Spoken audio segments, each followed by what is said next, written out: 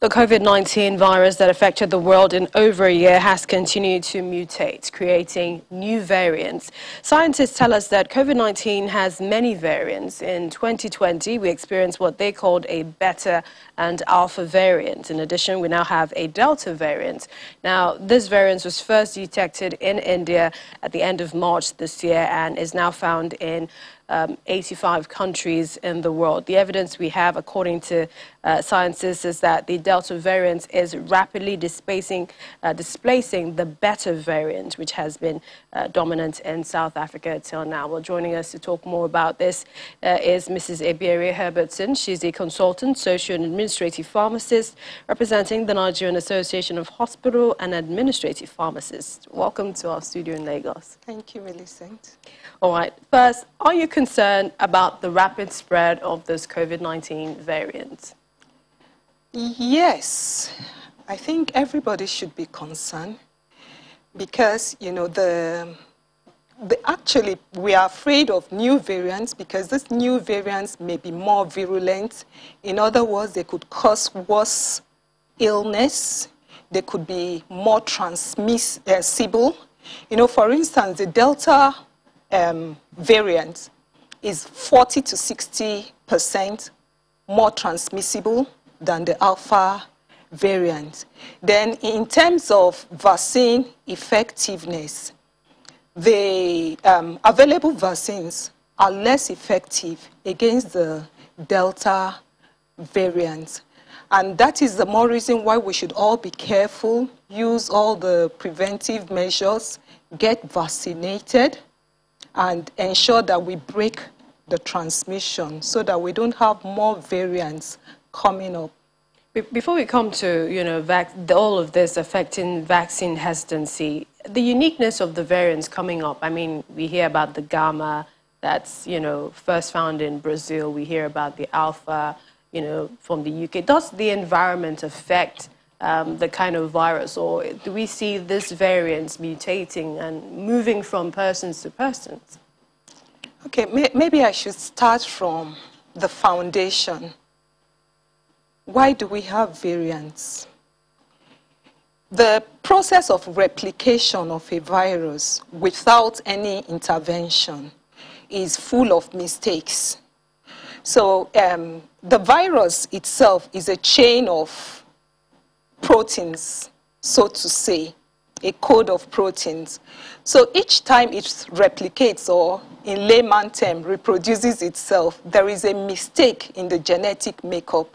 These mistakes could either weaken the virus or make the virus more harmful.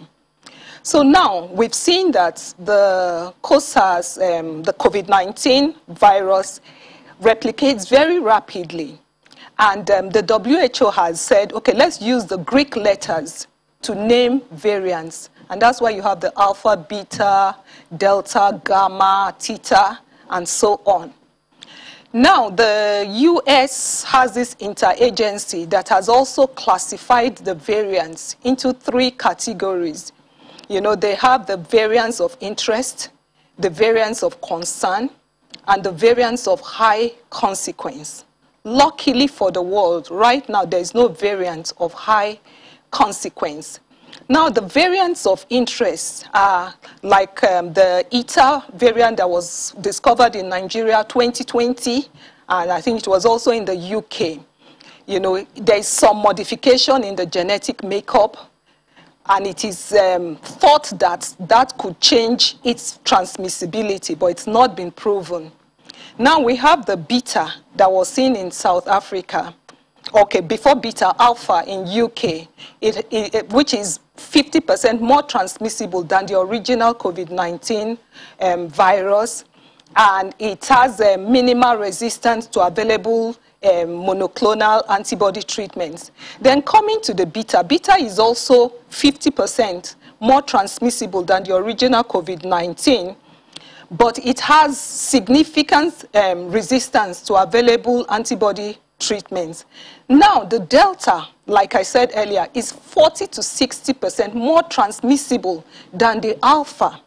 Then it has all the negative effects. You know, it's more lethal to the um, lung cells. So once somebody infected with the Delta variant will become more ill than someone that was um, infected by the original variant or the Alpha or, the or Beta. And we've seen that available vaccines are also less effective than this Delta variant. And you've heard of the Delta Plus, the original Delta that has another mutation that is similar to the Beta variant. So this thing is getting worse. So we all have to do our bit. And, and, the vaccines are not necessarily helping, are they? The vaccines are helping. The, you, you know, we, we went round this because you talked of environment. If you noticed, the societies where these variants are coming up are the less vaccinated societies. India, South Africa, US, you know, is highly, yes, they have bits of these variants, but not as much as what we see in the less vaccinated countries. So yes, vaccines will help. All the other medical measures will also help. And maybe we need to start thinking of booster vaccines, yes, stronger vaccines. I think so To mitigate too. this. Yeah. We appreciate your time always on the, on the program. Thank, Thank you so much, you. Mrs. Ebere Herbertson, consultant, social and administrative pharmacist. Thank you for joining us on the program. Thank you, Millicent. Always happy to be here. We have more on the COVID-19 with the global update. Stay with us.